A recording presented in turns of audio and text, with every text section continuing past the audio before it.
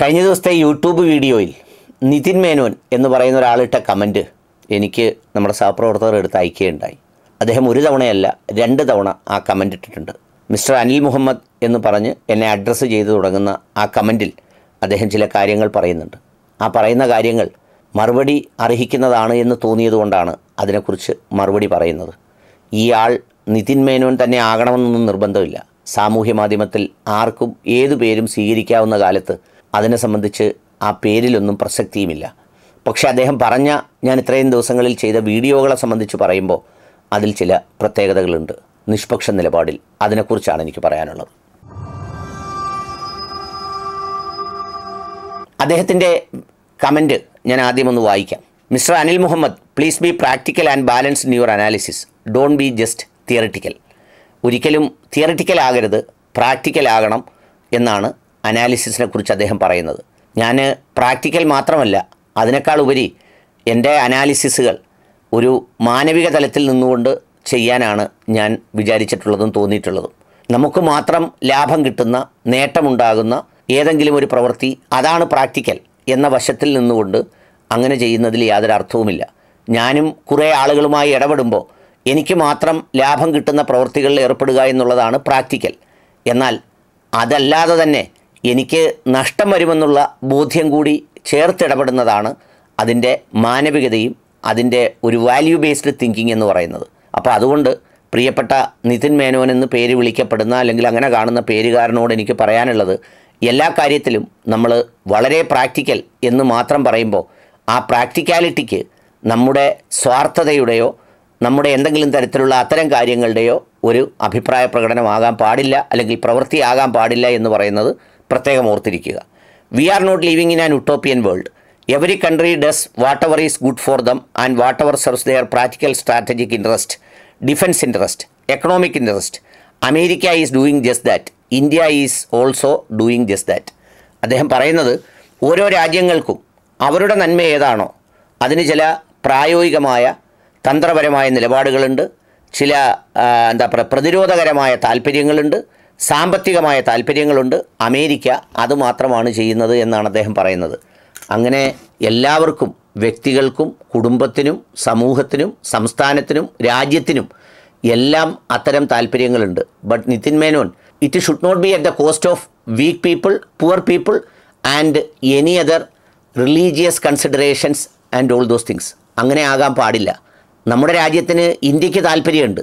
ആ ഇന്ത്യയുടെ താല്പര്യങ്ങളെന്ന് പറയുന്നത് ഏതെങ്കിലും ലോകത്ത് പോയി അടിയും വഴക്കം ഉണ്ടാക്കി അവിടെ ആയുധങ്ങൾ വിറ്റ് ഇല്ലാത്ത കുഴപ്പങ്ങൾ സൃഷ്ടിച്ച് നമ്മൾ നേട്ടം കൊള്ളുന്നതാണ് എന്ന് പറയുന്ന പ്രാക്ടിക്കൽ സ്ട്രാറ്റജിയെ നിതിൻ മേനോൻ എന്ന് പേര് വിളിക്കപ്പെടുന്ന ഒരാൾക്ക് എങ്ങനെ ന്യായീകരിക്കാൻ കഴിയും? ഒരു മനുഷ്യൻ എങ്ങനെ ന്യായീകരിക്കാൻ കഴിയും? നമ്മളുടെ പുരോഗതിയും വളർച്ചയും നമ്മുടെ നിലനിൽപ്പുമൊന്നും മറ്റുള്ളവനെ ചൂഷണം ചെയ്തും മറ്റുള്ളവനെ ഇല്ലാതാക്കിയും സമാധാനപരമായി കഴിയുന്ന രാജ്യങ്ങളിൽ പോയി കുഴപ്പങ്ങളുണ്ടാക്കിയും അക്രമം കാണിച്ചും ആണ് എന്ന് തരത്തിലേക്ക് പ്രാക്ടിക്കാലിറ്റിയെ വ്യാഖ്യാനിക്കുന്ന ലോജിക്ക് എങ്ങനെയാണെന്ന് എനിക്കൊട്ടും മനസ്സിലാവുന്നില്ല. അതിൽ താങ്കൾ ഇന്ത്യയെയും അമേരിക്കയെയും താരതമ്യം ചെയ്തത് എന്തിനാണെന്ന് ഒട്ടും മനസ്സിലാവുന്നില്ല. നമ്മളെപ്പോഴും നമ്മുടെ രാജ്യത്തിന്റെ കാര്യങ്ങൾ പറയുമ്പോൾ അഭിമാനപൂർവം പറയാൻ കഴിയുന്ന ചില കാര്യങ്ങളുണ്ട്. ഒന്ന് നമ്മൾ ബാക്കി രാജ്യങ്ങളിലൊന്നും പോയി യുദ്ധമുണ്ടാക്കുന്നില്ല. യുദ്ധമുണ്ടാക്കി ആയുധങ്ങൾ വിൽക്കാൻ ശ്രമിക്കുന്നില്ല. അവിടെ കുഴപ്പങ്ങൾ ഉണ്ടാക്കുന്നില്ല. വേറൊരു രാജ്യങ്ങളുമായി അനാവശ്യമായ പ്രശ്നങ്ങൾ ഉണ്ടാക്കി നമ്മുടെ താല്പര്യപ്രകാരം എന്റെ കക്ഷത്തുള്ളത് നേപ്പാളാണ് അല്ലെങ്കിൽ എന്റെ കക്ഷത്തുള്ളത് ബർമയാണ് അല്ലെങ്കിൽ എനിക്ക് ശ്രീലങ്കയെ കക്ഷത്ത് വെച്ചാൽ ചൈനയെ അടിക്കാം എന്നൊക്കെ പറയുന്ന അത്തരം കുടില തന്ത്രങ്ങളൊന്നുമില്ല.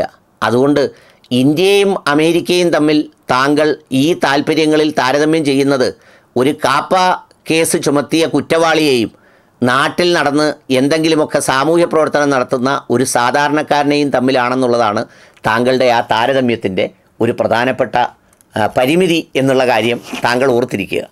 ബാക്കി കൂടി. അതുകൊണ്ട് നിങ്ങൾ വെറും അമേരിക്ക ജോ ബൈഡനെ മാത്രം കുറ്റം പറഞ്ഞും കളിയാക്കിയിട്ടും കാര്യമില്ല. ഇന്ത്യ മോഡിയെയും അങ്ങനെ തന്നെ കുറ്റം പറയണം കളിയാക്കണം. അപ്പോഴേ നിഷ്പക്ഷ നിലപാടാവൂ. അല്ലെങ്കിൽ അത് താങ്കളുടെ അമേരിക്ക ഫോബിയ മാത്രമായി കണക്കാക്കാനേ പറ്റുള്ളൂ. ചിലർക്ക് ഇസ്ലാമോ ഫോബിയ ഉള്ളതുപോലെ.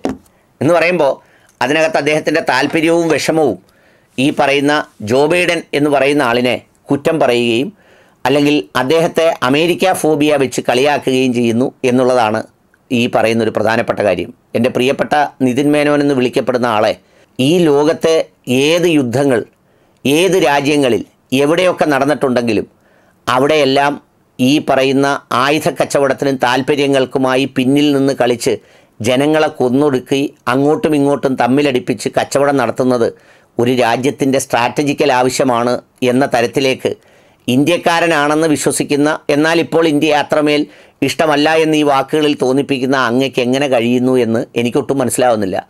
ജോ ബൈഡനെയും മോഡിയെയും എങ്ങനെയാണ് താരതമ്യം ചെയ്യുന്നത്? അമേരിക്കൻ പ്രസിഡന്റുമാർ എല്ലാ കാലത്തും ഈ ലോകത്ത് നടത്തിയ മനുഷ്യക്കുരുതികളുടെ എണ്ണം എത്രയാണ്? ഇറാഖിൽ പോയി എത്ര ലക്ഷം ജനങ്ങളെ കൊന്നുതള്ളി? എന്നിട്ട് എന്ത് പുണ്ണാക്കാണ് നിതിൻ മേനോൻ അവിടുന്ന് പിടിച്ചത്? എന്ത് കാര്യമാണ് അയാൾ ജനങ്ങളോട് പറഞ്ഞത്? അപ്പോൾ ഈ ലോകത്തെ മുഴുവൻ വിഡ്ഡിവേഷം കെട്ടിക്കുന്നതെല്ലാം അവനവന്റെ രാജ്യത്തെ ഡിഫൻസ് സ്ട്രാറ്റജിയും അല്ലെങ്കിൽ എക്കണോമിക് സ്ട്രാറ്റജിയും അല്ലെങ്കിൽ അതുപോലെ തന്നെ സ്ട്രാറ്റജിക് പ്രാക്ടിക്കാലിറ്റിയും എന്നൊക്കെയാണെന്ന് പറഞ്ഞ് താങ്കളെപ്പോലെയുള്ള ആളുകൾ അതിനെ ജാർഗൺ വെച്ച് വിശേഷിപ്പിക്കുന്നത് ഒട്ടും നീതിയുള്ള കാര്യമല്ല. ഇതിനേക്കാളൊക്കെ മുകളിൽ ഒരു സത്യവും നീതിയുമൊക്കെ ഉണ്ട്. അമേരിക്കൻ സാമ്രാജ്യം എന്നൊക്കെ പറയുന്നത് ഉണ്ടായിട്ട് കാലം എത്രയായി? അതിനു മുമ്പും അതിനേക്കാൾ വലിയ സാമ്രാജ്യങ്ങൾ അടക്കി ഭരിച്ചിരുന്നവരുണ്ടായിരുന്നു. എന്തേ അവരൊക്കെ? അവരുടെയൊക്കെ ബാക്കി എവിടെ? അപ്പോൾ അതുകൊണ്ട് അത്തരത്തിൽ സ്വന്തം രാജ്യത്തിന്റെ താല്പര്യമായി ഇതിനെ വളരെ ന്യായമായി ഒന്ന് വിശേഷിപ്പിച്ചാൽ അങ്ങയുടെ താമസിക്കുന്ന പ്രദേശത്തിന്റെ നടുവിൽ വലിയ സമ്പന്നനും അധികാരവുമുള്ള ഒരാളുണ്ട്. അയാളുടെ പ്രാക്ടിക്കൽ എക്സ്റ്റേണൽ ഡിഫെൻസീവ് സ്ട്രാറ്റജി എന്ന് പറയുന്നത് അദ്ദേഹത്തിന്റെ ശക്തി വളർത്തലും അദ്ദേഹത്തിന്റെ സ്ഥലം സംരക്ഷിക്കലുമാണ് എന്ന വിചാരത്തിൽ എല്ലാ ദിവസവും അയൽക്കാരനായ താങ്കളുടെ സ്ഥലങ്ങൾ പിടിച്ചെടുക്കുകയും താങ്കൾക്ക് രണ്ട് അടി തരികയും കാണുമ്പോൾ കാണുമ്പോൾ കരണം പുളക്ക രണ്ട് പൊട്ടിക്കുകയും ചെയ്യുന്നത് അയാളുടെ സ്ട്രാറ്റജിയാണെന്ന് പറഞ്ഞ് കവൾ വെച്ചു കൊടുക്കാൻ എങ്ങനെയാണ് സാധിക്കുക? അതിന്റെ മുന്നിൽ നിശബ്ദമാകാൻ എങ്ങനെയാണ് സാധിക്കുക? അങ്ങനെ ചെയ്യുന്ന ഒരാളിനെയും അല്ലെങ്കിൽ മറ്റൊരിടത്ത് നിന്ന് ഈ പറയുന്ന രാജ്യ താല്പര്യത്തിന് വേണ്ടി ഇപ്പം താങ്കൾ താരതമ്യം ചെയ്യുന്ന ഇന്ത്യ അത് തൊണ്ണൂറ്റി രണ്ട് വരെ ഈ പറയുന്ന ഫലസ്തീന്റെ പക്ഷത്തായിരുന്നു. പിന്നീട് നരസിംഹറാവു വന്നപ്പോൾ ചെറുതായി മാറി. ഇപ്പം മോഡി സർവത്ര പിന്തുണ കൊടുത്തു. ആ പിന്തുണ കൊടുത്തു എന്നുള്ളതുകൊണ്ട് ആയുധവും ബാക്കിയുള്ള സംഗതികളുമൊക്കെ നൽകി ഇവിടെ വന്ന് നിന്ന് ഫലസ്തീനെ അടിച്ചോ അല്ലെങ്കിൽ ഞങ്ങൾ വേണ്ട ആയുധങ്ങൾ തരാം എന്നൊക്കെ പറഞ്ഞ് അതിന്റെ കൂടെ നിൽക്കാനോ ഓടി അവിടെ ചെന്ന് ഇത്രയും പേരെ കൊന്നത് നന്നായി എന്ന് പറയാനോ ഉള്ള ഒരു ജീവവും നീതിയും ഒന്നും ലോകത്തൊരു കാലത്തും ഇന്ത്യ ഒന്നും കാണിച്ചിട്ടില്ല. അഥവാ ഇന്ത്യയുടെ കയ്യിൽ പറ്റിയിട്ടുണ്ടെങ്കിൽ ഒരു തുള്ളി ചോരയാണെങ്കിൽ ഈ അമേരിക്കൻ പ്രസിഡന്റുമാരൊക്കെ ജീവിക്കുന്നത് ചോരയിലും മാംസത്തിലുമാണ് നിതിൻ മേനോൻ. താങ്കൾക്ക് വിഷമമുണ്ടെങ്കിലും അങ്ങനെ തന്നെ ഒരു തവണയല്ല നൂറ് തവണ പറഞ്ഞേ മതിയാവൂ. അത് ഒരുപക്ഷെ താങ്കൾക്ക് പ്രാക്ടിക്കലല്ല എന്ന് തോന്നുന്നെങ്കിലും എനിക്ക് എന്റെ ശബ്ദത്തോടും എന്റെ ജീവനോടും എന്റെ ബോധ്യത്തോടും നീതി പുലർത്താൻ അങ്ങനെ തന്നെ പലവട്ടം ഉറക്കെ പറഞ്ഞേ മതിയാവൂ. അതാണ് സത്യവും അതാണ് എന്റെ ബോധ്യവും.